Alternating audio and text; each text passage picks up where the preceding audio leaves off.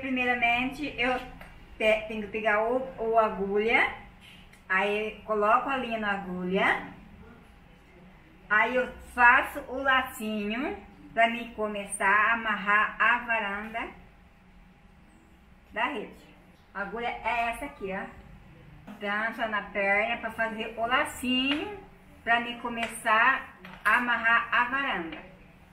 Esse aqui dá uns 50 voltas. 50 voltas. O lacinho tem que ficar dentro da agulha. A hora que eu terminar o lacinho, eu vou começar a varanda. Agora terminei o lacinho, agora vou começar a amarrar a varanda. E esse aqui, que é o pauzinho que amarra a varanda. E esse pauzinho aqui é feito de taquara. Agora eu vou começar a amarrar a varanda.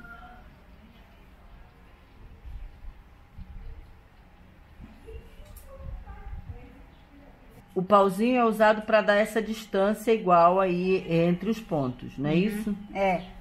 Tá. Aí você faz um ponto, depois você faz dois, depois você faz três, aí vai, vai crescendo. Vai só aumentar. Não é isso? Coloco por em cima do pauzinho, vai por dentro do meu dedo, aí por baixo do pauzinho, aí me, por baixo da linha com o pauzinho enfiar na malha.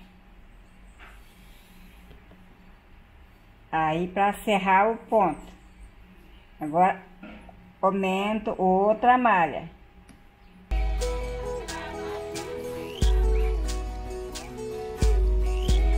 Aí. Na minha luz da minha França, faço desde 15 anos. Hoje estou fazendo 54 anos. Hoje? Para